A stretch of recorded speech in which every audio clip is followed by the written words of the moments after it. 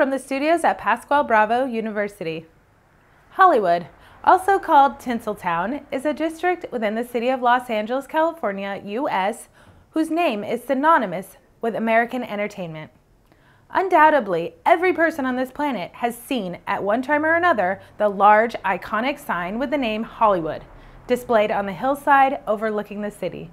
It has become to be a universally recognized metaphor for ambition, success, dreams, glamour, fame, wealth, and the dazzling American film industry. Since the early 1900s, movie makers have come to Southern California due to its ideal blend of mild climate, year-round sunshine, varied terrain, and a large labor market. As a result, the image of Hollywood as the fabricator of tinseled cinematic dreams has been etched worldwide.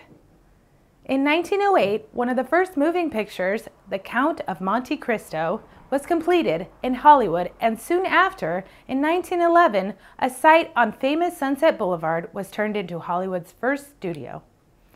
By 1915, Hollywood had become the center of the American film industry, with entertainment giants such as 20th Century Fox, Metro Goldwyn Mayer, Paramount Pictures, Columbia Pictures, Warner Brothers, and others calling it home.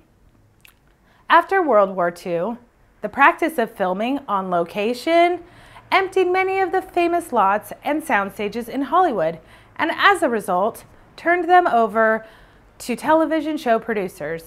With the growth of the television industry, Hollywood began to change, and by the early 1960s, it had become the home of much of American network television entertainment.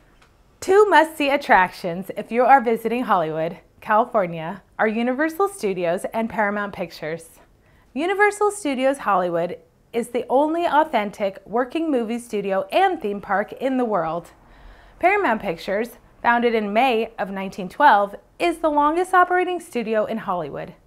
The incredible list of productions that were shot at Paramount include The Godfather, Top Gun, Forrest Gump, Star Trek, and many, many more celebrated movies and TV series. And if you are lucky enough Perhaps one day you too will have your name inscribed on the world famous Hollywood Walk of Fame. It features the names of more than 2,500 actors, musicians, directors, producers, and others from the entertainment industry embedded in the sidewalk along 15 blocks of Hollywood Boulevard. I am Jasmine Corzo, and this has been a Pascual Bravo English documentary. Until next time, good luck with English.